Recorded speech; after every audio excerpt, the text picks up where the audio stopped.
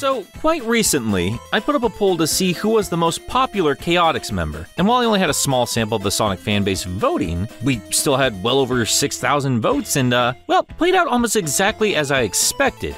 Almost. While I didn't expect Charmy Bee to win the contest, I certainly did not expect him to be dead last when I had also included characters that many would argue shouldn't even be among the choices. Yeah, Heavy and Bomb got more votes. I would guarantee a large chunk of people don't even know who those characters are. And seriously, look at the comments. You have more people complaining about who I didn't include than those genuinely upset about how bad Charmy was doing. Which I found especially surprising because Charmy is one of the three Chaotix members who form the modern detective agency, who keep showing up to fill out the roster of Olympic teams. Even when they're not really doing anything, they're still around. Of course, you could say that about most of Sonic's cast, but that's a topic for another time. Still, I guess it's understandable that he's not the favorite of the bunch. Even back in his reintroduction in Sonic Heroes, Charmy has been known to be, well, irritating. He's hyperactive, absent minded, and just obnoxious. Not even anatomically correct. He's got a stinger. Female bees have stingers, not the males. Well, who am I to tell the bug how to identify? Besides, if we're going to compare him to real world insects, there are a few more glaring inconsistencies we should probably address first. Or address silly inconsistencies like the localization for Knuckles Chaotix here in America. He's supposed to be a little kid in the Japanese game, but the American manual listed him as 16,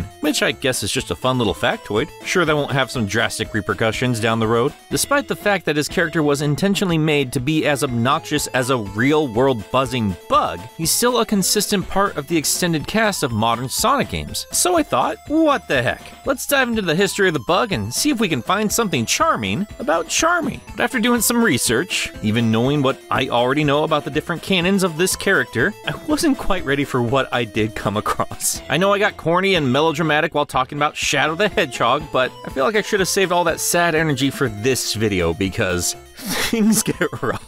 So let's see just how miserable things get, because we are smack dab in the middle of Knovember Chaotix, where we are spending all month long talking about everything Knuckles Chaotix. Now, for those unacquainted, when I point to this guy and say he's a bee, it would be reasonable for you to respond with, uh, no, he's not. And, well, fair enough. He threw me off the first time I saw him, too. Being a giant insect should make him the most terrifying member of the Chaotix. I mean, Robotnik certainly knows what bugs are supposed to look like, but apparently in Sonic's world, they share the same face as armadillos and hedgehogs. But hey, if you grew up with cereal mascots, this might not have thrown you off too much. Charmy does look like he's about to bust a honey nut all over your breakfast. But like most members of the Chaotix, Charmy's journey does not start off with the 32X title. He actually started off, like a surprising amount of things from this franchise, in the old Sonic manga, where he looked like that. You know, I've already made a lot of jokes about the wacky character designs from Europe and America, but somehow Japan managed to end up with the single worst Sonic character design I have ever seen. this sad Muppet with a bee butt loosely attached is Charmy Bee. Really and truly. He first shows up after Sonic's alter ego, Nikki, no relation, and his dad go flying off and then get caught in Eggman's cocktail shaker, which gets Daddy Hog completely sloshed. But when he tries the same on Nikki, he turns into Sonic, so it's fine. So since Eggman can't roofie the hedgehog, he's instead going to try and drown him. But no worries, Charmy wakes up and uses the time box to reverse time to make sure none of this happened. And if that seemed to come out of nowhere, it, it did. It really did. It turns out Sonic comics were out of their mind crazy no matter where you grew up. What's the time box? Who is this bug in relation to Sonic? How did he just show up out of nowhere? None of, none of it matters. Nothing matters. And here he is again, with his ass being used as a toothpick by Chonker the Hedgehog here. They did give us a design closer to what we would know Charmy to be.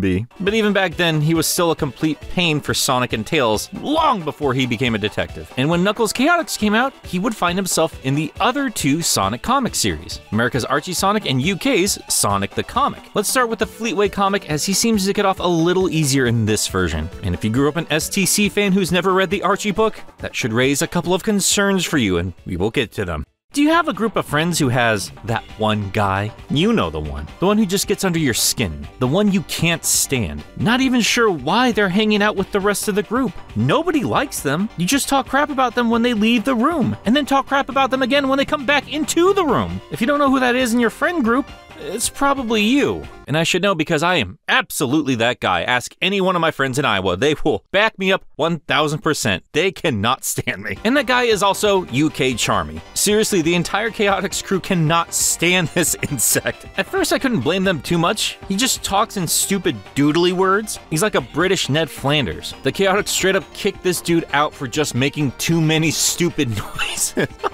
And even when Charmy saves them all from a group of villains when he returns home with his colony and straight up torches them and then turns them into pottery, even after all of that, the Chaotix are still like, get out. Get you and your stupid family out.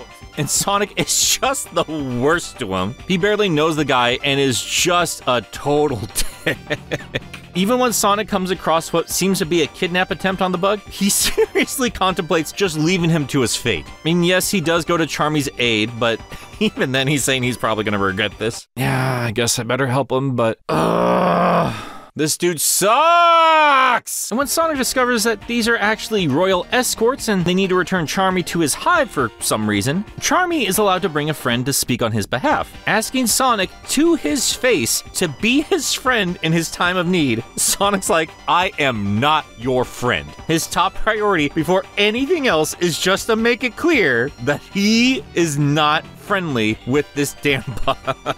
but begrudgingly, he once again helps. And even when Sonic discovers that Charmy is royalty, and the bee asks the hedgehog not to tell the Chaotix, Sonic makes him swear that he won't ever tell the team that Sonic helped him out. His cred is that important to him. I do not want to associate with this loser whatsoever. I don't care what kind of royalty he is. This guy's a dork, and I want nothing to do with him. Seriously, you guys think Sonic was a dick in Sonic X? You have no idea. This this dude was an honest to goodness jerk in the UK book. Were you a nerdy outcast in school? Big fan of Sonic the Hedgehog, but you don't really talk about it because you know the more popular kids will just mock you? Well, guess what, buddy? That's the type of person Sonic wants nothing to do with. He is that popular jerk who does not want to hang out with me. You does not want to hang out with you. It's okay to like children in the media as an adult, okay, guys? Stop making fun of me. It gets to the point where you honestly feel bad for the bee and maybe relate to him a little bit.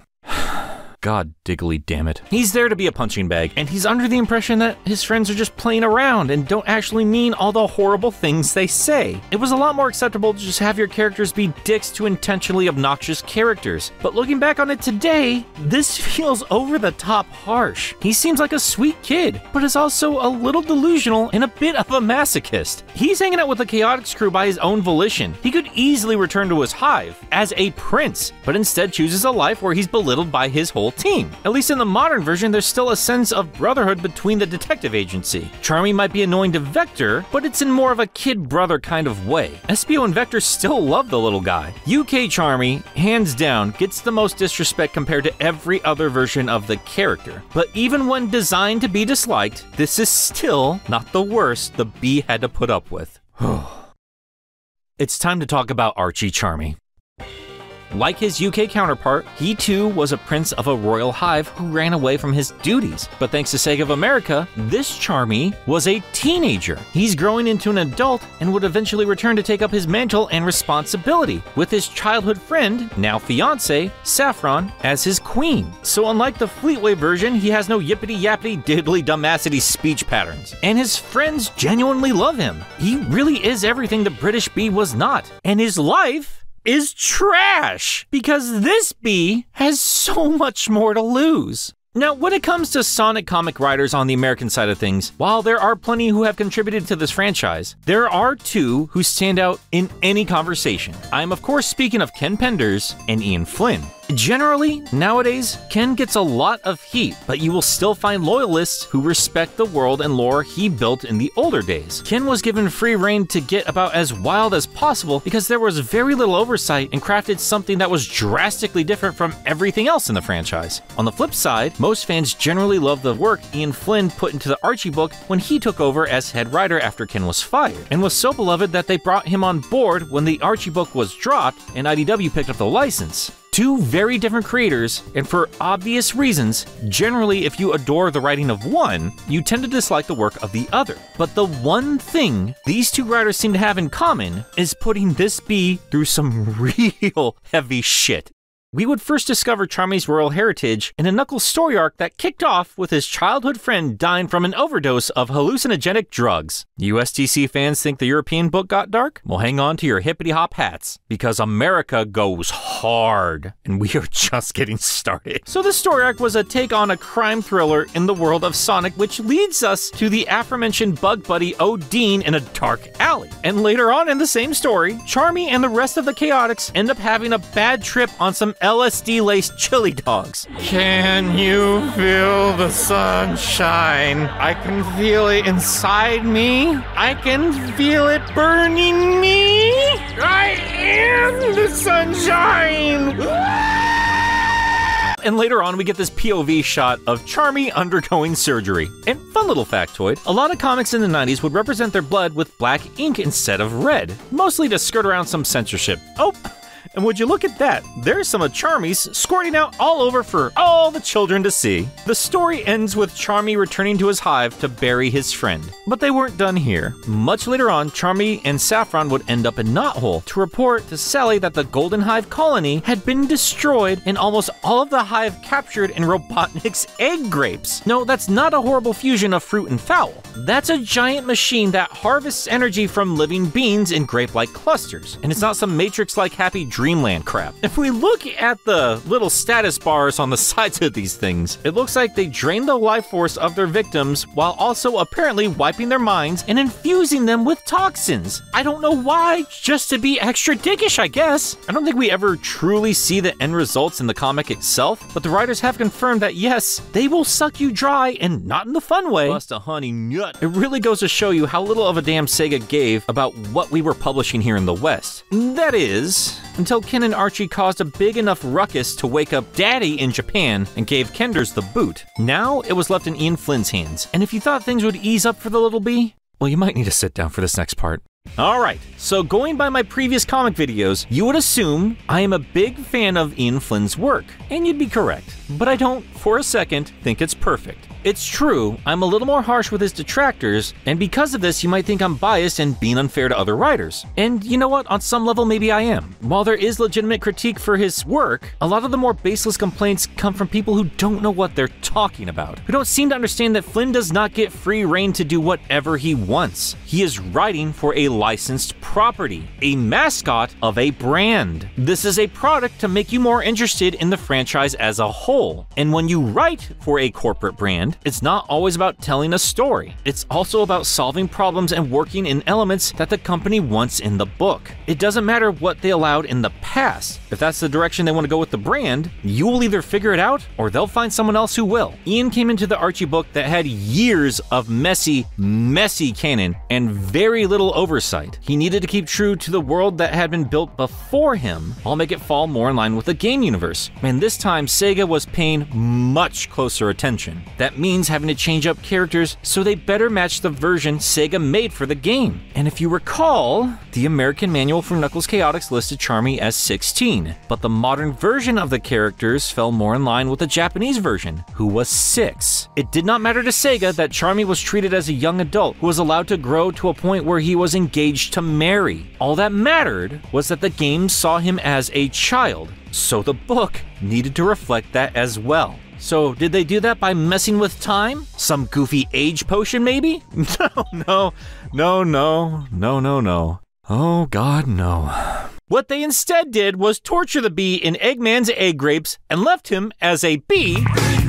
If you think I'm being insensitive, keep in mind that's a line from the Team Chaotix theme in Sonic Heroes, the same game where Vector called Rouge a broad. Yes, seriously, they did this. In the Archie book, pre reboot, Charmy is still not a child. His mind has just regressed to the state of a child. I want you to seriously think about the repercussions of this. Are you engaged? Are you married? Do you have someone in your life you see as your life partner? Can you imagine what it has to be like for Saffron? Charmy isn't the same person. And not even that, he is practically a kid. She's engaged to someone with the mind of a child who doesn't even remember that he was once a prince to an entire colony. Can you imagine how heartbreaking that would be? She's no longer his romantic partner. She's his caretaker. And I'm not overplaying that either. That's literally how they describe her in the comics encyclopedia. Yes, Charmy is written more in line with the game counterpart, and that was probably fine for brand new readers, but if you had read everything leading to this point, seeing Charmy talk like this is sad and unsettling. And Gator, Jesus help me, we are not done. Saffron doesn't get a lot in terms of character growth, but she is a sweet gal, and you can tell she loves Charmy more than anything because she's still there. Charmy cannot be left to fend for himself. He needs her. And because of that, that means the bug still has something, no, someone, left to lose. Because Pender won the lawsuit that required Archie to remove all the characters he had a hand in creating, they had to get all of them out without so much as a goodbye. And while I keep reiterating that Ken did not make the Freedom Fighters, he did help create Saffron. So, like all those Echidna OCs, Saffron was unceremoniously removed via warp ring, never to be seen again. This tiny little panel is where pre-reboot Charmy's story ends, about to be told by Knuckles that Saffron is gone with no way of bringing her back.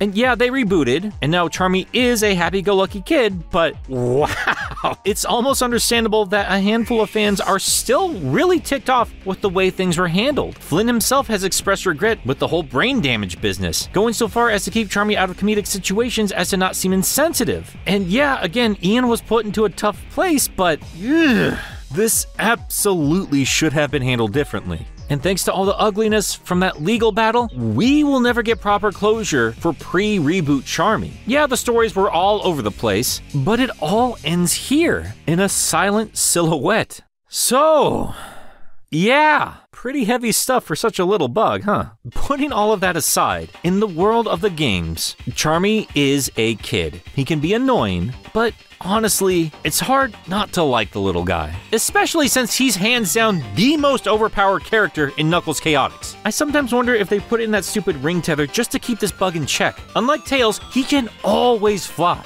Instead of jumping, he just darts in a direction, and yes, it kills anything. And as my uncle reminded me, you can pull off a Robotnik and swing around heavy like a wrecking ball, leaving you pretty much indestructible. Honestly, Charmy is a lot of fun to play. And while we would not get any more 2D adventures with the bug, it's little surprise that Naoto Oshima would go on to be both character designer and director of Pinobee, a 2D platformer where you get to play, surprise, a bee. And Look, I really don't want to end on a downer note here. Charmy has been through a lot thanks to some overly dramatic storytelling, but that's Archie. That's kind of what they did. I don't think it should have ever happened to begin with. He's better off as a kid, and Flynn was very sure to establish him as a child the instant he popped up in the IDW book. And he's just great in Sonic X. He plays off well with the stoic Espio and the loudmouth Vector. He's just a happy kid, and that's who he's supposed to be. He's ADHD in insect form. Irritating as hell to the reptiles he hangs out with, but when push comes to shove, they love him like a brother. He's an integral part of the Chaotix Detective Agency, the Chaotix Freedom Fighters, and whether they like it or not, UK's Chaotix crew.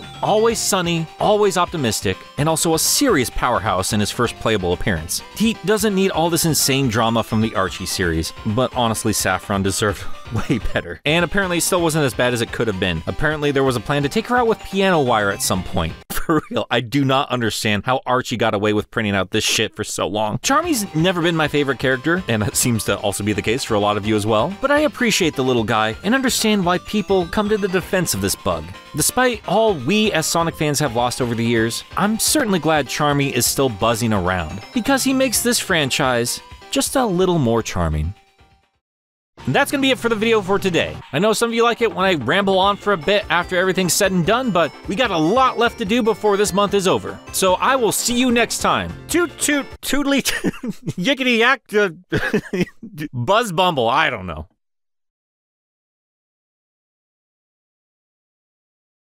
So unlike the Fleetway version, he has no yippity yappity dippity. He has no yippity yappity diddly dumbassity speech panter. He has no yippity yappity diddly dumbassity. so hard to say this line. Deep dop doodle bop. I'm a sky man. Skibbity bebop. Woody yippity yap yap. I hate this stupid bee.